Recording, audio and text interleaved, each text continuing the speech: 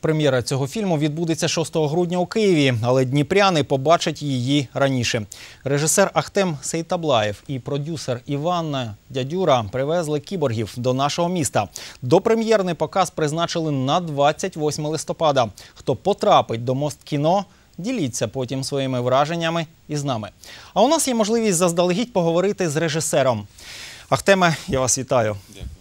Отже, мабуть, перед тим як почнемо говорити про фільм, пропоную нашим глядачам трошки подивитися, про що він. Так? Добре. Привіт, донечка. Привіт. Ксенечка, я. Я люблю тебе. Доброволець Антон Ясинський з позивним мажор прибув у ваше розпорядження. В армії служив. Ні. Я должен. Я повинен бути тут. А що ти відчуваєш, коли людей вбиваєш? Мам, успокойся, я. Я плохо слышу. Сынуля! Я не могу сейчас говорить, у нас Подожди, сынок! тихий час. Якщо ми тут, значить згодні розплачувати за минуле, захищати теперішнє і нести відповідальність за майбутнє. Ты в Counter-Strike играл? Ну, то же самая игра такая, не бойся. Все настоящее. Пройдешь этот уровень, перейдешь на следующий, понял? Як відчуття? Як на якомусь хіровому концерті. Ви мене відкинули на кілька поколінь назад. Вам скільки ще треба? Аеропортів, Чорнобилів. Та це ви програли країну. Я тільки починаю за неї нормально боротися. Не було наказу відкривати вогонь. То що треба було здати аеропорт? Здесь находятся мужчины, которые этот аэропорт не сдадут пока живы. Ваша задача верить в нас, молиться и ждать. Потому что скоро все мы вернемся, новую страну строить. Аэропорт наш, котики. Слава Украине! Попрацюємо. Ну і конкретно звідки вас сюди занесло, Петро Іванович? Владимирська область. А, золоте кольцо. Ну і схіра ж ти сюди приперся. Петр Іванович. Ну, отже, ми зараз подивилися і хотів би спитати: початок зйомок, е, наскільки я розумію, лютий 2017 року. Так, де, Тобто- я, якщо буду то, ну, точним, то це 9 лютого, е, лютого цього року. цього року. Менше ніж за рік впоралися, і хочу спитати, наскільки було складно і яка мотивація? Е, Ну, почну, мабуть, з кінця вашого запитання. Мотивація надзвичайно велика, тому що ну, коли ти дивишся в очі цих е, людей, цих чоловіків, е, коли чуєш їх історії, ти розумієш, що ти є свідком того, як народжується українська політична нація, що ти є свідком народження нових людей, нової країни, нового епосу. І звісно річ, е, якщо тобі Всевишнім дан такий інструментарій, як кіно, Ну, я вважаю, що це було б великим гріхом не зняти про них кіно. Мотивацій було дуже багато, тому що, ну, по-перше, сценарій, який написав видатний український драматург е, На- Наталія Ворожбит, він був написаний саме по спогадах реальних людей, реальних бійців, які захищали Донецький аеропорт. Потім вони вичитували його. І потім, згодом, коли ми вже розпочали знімальний період, е, вони майже кожного дня на нашому знімальному майданчику був хтось з них присутній. Вони консультували е, і там, починаючи з яких побутових там речей, закінчуючи власне бойовими діями. І це була надзвичайна мотивація для всієї знімальної групи, насамперед для акторів, тому що вони добре розуміли, що от ті самі е, бійці, ті самі чоловіки, власне, кого вони грають, але треба підкреслити, що Хоча наш фільм і називається Кіборги, і він заснований на саме на історії захисту Донецького аеропорту, але ми наш фільм присвячуємо кожному, кожному волонтеру, кожному лікарю, кожній родині, кожному татові або мамі. Тому що ця історія саме про те, е, як ми народжуємось, як е, нація. І, звісно річ, неможливо розповісти історію захисту Донецького аеропорту всі 242 дні е, умістити на території двохгодинного фільму, тому ми собі дозволили скомпілювати деякі події, скомпілювати деякі характери. І тому за кожним з наших персонажів стоять декілька реальних е, прототипів.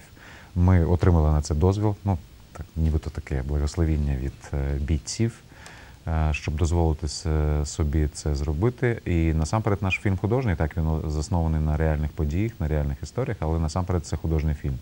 Звісно річ, без допомоги держави, без допомоги Генерального штабу Збройних сил України ми б не змогли е, зняти наш фільм, тому що е, ми знімали і тяжку військову техніку, і танки, і е, БМП, і, справжніх е, бійців, і солдатів.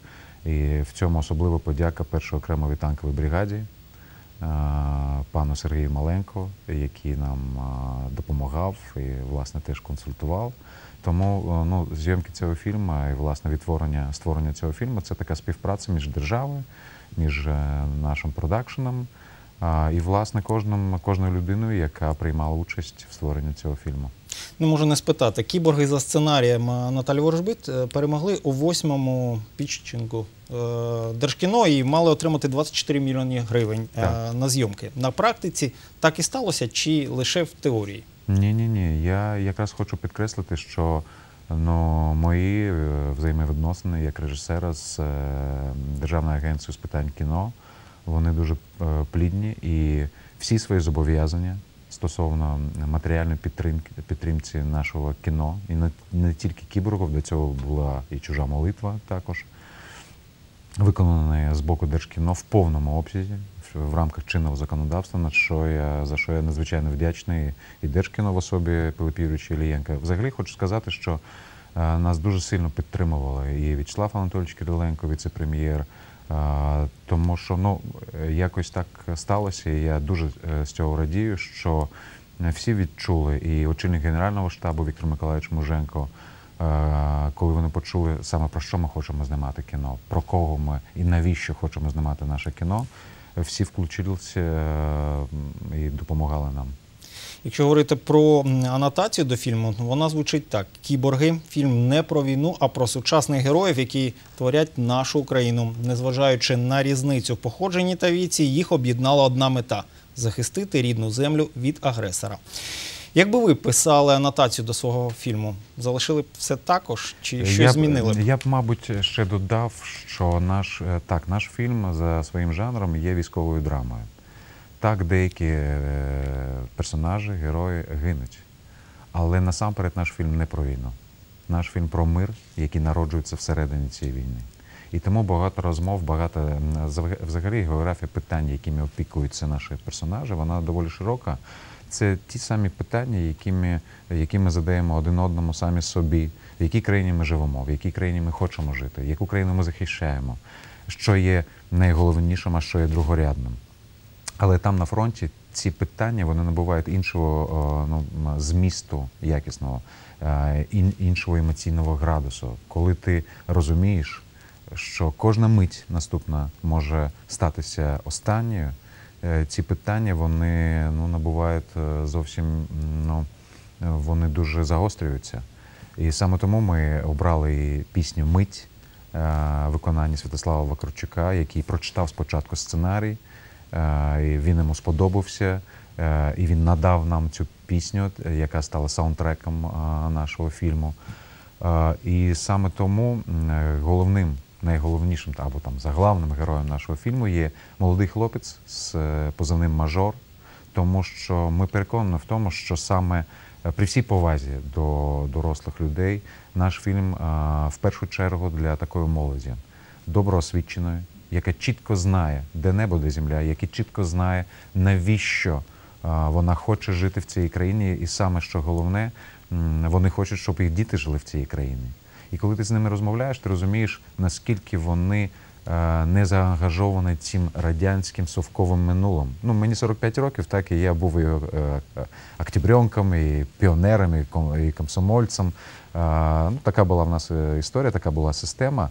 Але ці молоді люди, вони настільки відкриті, настільки креативні, настільки це може здатися ну, таким нібито пафосом, але на фронті це не звучить як пафосна річ. Я маю на увазі патріотизм. Вони чітко знають самі по собі, що це таке. І вони, на жаль, іноді віддають за це життя. Е, і тому ну, це не нова теза, але я хочу підкреслити, що наш фільм е, саме в першу чергу він присвячений їм, такої молоді. І насамперед я хочу молодь закликати до наших кінотеатрів. В цьому ж сенсі я хочу сказати, що Мабуть, е, наш фільм є таким прикладом е, ну, такої плідної співпраці між державою, між тими, е, хто виробляє фільм, і власне між глядачем. Ми започаткували нашою знімальною групою разом з фондом Повернись живим, разом з Держкіно України, разом з Міністерством інформаційної політиці. Ми запропонували, е, ми започаткували таку акцію Я не байдужий. Суть якої полягає в тому, що з кожного придбаного квитка 5 гривень буде йти через фонд Повернись живим на підтримку родинам загиблих. Тобто, коли людина, глядач, придбає цей квіток, це не просто похід е, для того, щоб переглянути українське кіно. А це ще допомога. Це ще допомога, і це співучасть в тому, що ми можемо називати будуванням країни. Це співучасть в цьому ну, круговороті добра. Е, і це ну, практична дія е, своєї співучасті в, в будуванні майбутнього. Якщо говорити про акторів, е, це всі професійні актори, чи були і справжні кіборги, хоча б десь в епізодичному? Ну, якщо казати про виконавців е, головних ролей, е, Їх, так. наскільки я розумію, п'ять героїв. Так? так, це професійні актори. Але в деяких епізодах в ролях, ну так вони звуться, ну так по ранжиру, так там виконавець там головної ролі, виконавець ролі. Так от деякі виконавці деяких ролей е, також професійні актори, але ті, хто воював. В деяких епізодах, в невеличких ролях знімалися справжні кіборги також. І вони допомагали, звісно річ. Ну, взагалі, це було таке, таке братерство на знімальному майданчику. І я з великою теплотою е, сам ну, вспоминаю про те, як відбувалося, власне, відбувався власне знімальний період.